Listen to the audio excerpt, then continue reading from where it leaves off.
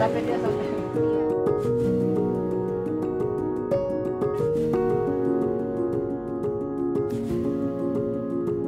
saya kehilangan tiga kerjaan. Ya ada beberapa iklan dan eh, series yang seharusnya bisa dibuat. Cancel karena outbreak ini. Nah, ini buat kita mungkin hari-hari yang tidak mudah ya, tapi eh, ini harus kita lakukan demi menjaga kesehatan kita rangka juga menjaga kesehatan keluarga kita.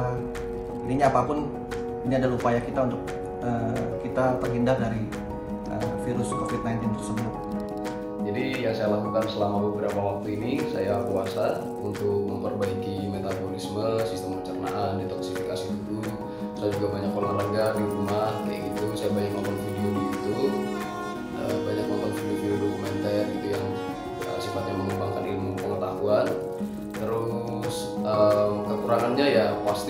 banyak pekerjaan yang tertunda ya. Tapi biar gimana pun kita tetap harus bisa eh, menikmati setiap momen apa pun keadaan itu kan kayak gitu. Ketika kondisi seperti ini memaksa kita untuk bekerja di rumah, seperti kebanyakan orang, saya juga harus bekerja di rumah.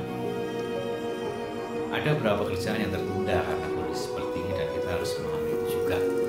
jadi saya banyak eh, mengisi kekosongan sekarang ini dengan membaca kemudian juga untuk mencari ide biasanya saya melakukan eh, bikin sketch atau gambar cari-cari ide eh, selama kekosongan ini. Eh, jadi jangan pernah kita hanya berdiam diri tapi coba cari kegiatan yang yang produktif yang bisa uh, menghasilkan ketika nanti pandemi ini udah uh, berakhir gitu. sebenarnya tidak bisa banyak berdiam diri di, rumah. Ya akhirnya memutusin juga buat di rumah dengan cara dengan melakukan banyak cara agar menghilangkan kejenuhan. Banyak hikmah sih yang gua bisa gua dapat dari situasi hari ini. Ya terutama gua lebih banyak waktu ya sama keluarga. Walaupun terkadang ya tetap gua harus eh, keluar rumah karena ada deadline gua harus ke studio untuk eh, review editing. Tapi di studio gua itu juga eh, tertutup. Jadi memang hanya orang tertentu yang bisa ke studio. Enaknya ya bisa spend more quality time sama keluarga sama istri sama anak-anak.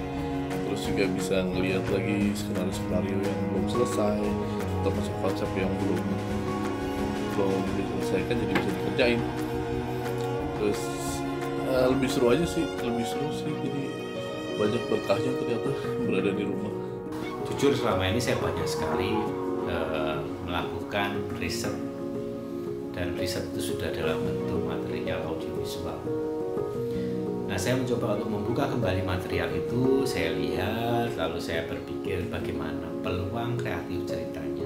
Seandainya itu eh, dikembangkan menjadi karya yang lebih lengkap apa proses kreatif selanjutnya. Ini jujur nih eh, menjadi satu proses yang bagi saya selalu menarik. Eh, yang punya kemewahan waktu untuk berdiam diri di rumah yuk.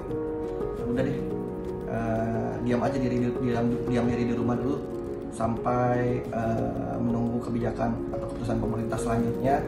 Mudah-mudahan wabah ini bisa segera berakhir. Dan pastinya sebenarnya walaupun di rumah kita tetap bisa produktif itu tergantung gimana kitanya aja sih Dan harapannya ya semoga Indonesia semakin membaik supaya kita juga bisa berkarya lagi, kita bisa buat uh, film-film hebat, bisa menginspirasi banyak orang kayak gitu. Dan yang pasti jangan sampai waktu kita terbuang sia-sia. tetap di rumah saja tetap berpikir tetap jaga kesehatan dan buatlah sesuatu yang kreatif